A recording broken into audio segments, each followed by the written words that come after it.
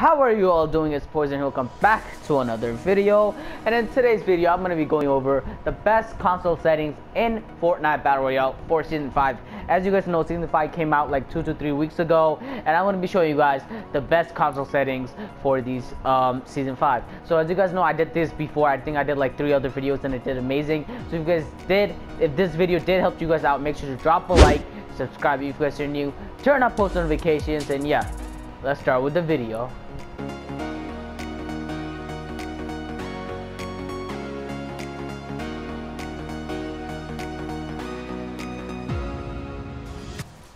So as you guys know, season 5 has started and there's a lot of things that changed. The meta has changed from shotguns to like SMG kind of stuff like that. There's like a lot of things that you need to do to your settings to improve the game.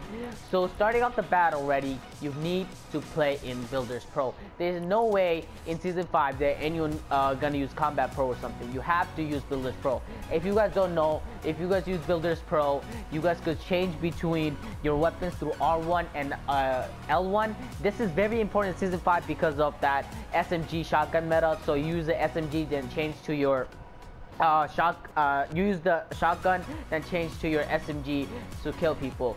Builders Pro is amazing, is the best way to play the game at this time, and you guys should definitely use Builders Pro. So now I'm gonna talk to you guys about the sensitivity and the ADS and stuff. So starting off the bat, you guys should this sensitivity right here, one and two, these two right here, you guys could go uh, eight or up. So I suggest nothing less than eight. So if you guys use 9 right now keep it at 9 you know if you guys want 10 is the best as always.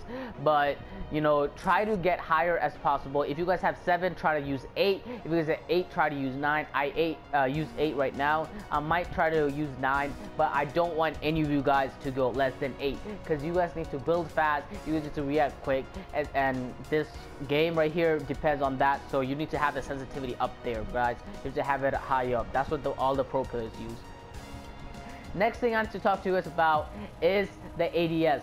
So I keep both of my ADS as 0.70. This basically is what you think and how your gameplay is. If you guys like, you guys need to go inside a game. If you guys change the sensitivity from like 7 to like 9, you guys probably need to lower this more. But if you guys have like a uh, 6 sensitivity, then you guys could you boost this up. But basically I have my at 0.70 for both of them. You guys could go through and see what's the best for you guys. Invert view is obviously off. Streamer mode is off depending on what you're doing. The HUD, uh, the HUD, basically, uh, you guys could lower this down a little bit to like 0.90 if you guys want, but it's basically your suggestion, whatever you guys want to do. Show spectator count on. Those are basically your stuff. Sprint by default, have that off. That will mess up your game. Do not ever have that on. Uh, sprint cancel reload off. Tap to search off toggle targeting off and since you guys are in console you guys definitely should have aim assist on. I don't know why you guys should have that off. Editing mode aim assist you guys should have that on. Reset building choice have that on. I, I always like to have I mean this basically does not matter if you're playing in Builders Pro because like you have to use all of your R2, L2, L1 and R1 buttons to build. But if you guys are using Combat Pro I don't know why you guys should do that. Uh, you guys should have this on as always but if you guys using builders pro as well you guys should have this on. Turbo building obviously on. You want to build fast. You don't want to uh, have to like click click the r2 button to place a wall down. You could just hold it and it will build it for you. Auto material change on. If this is really good when you're a building match you could just uh, change the materials without even thinking about it. Controller auto run. I like to have this on because it's good to sometimes you know if my hand is sweating I could just run in one direction and you know get loosened up uh, make sure my hand is not sweating and like you know rub off my hand do stuff like that. Um, auto open doors I have that off auto pick up weapons. Uh, this one is basically your choice uh, sometimes you know when you guys uh, first land on a house, like you get off the bus and you first land a house, and two people going for the same chest. If you have this on, you're more likely to get that gun from that chest after it's open than the other guy. But basically, it's your choice. What you guys want to do with that? Vibration, I have have it on. I don't mind having it on. I don't care like if it vibrates a little bit. It doesn't disturb me, but it's basically your choice. Do whatever you guys want with it.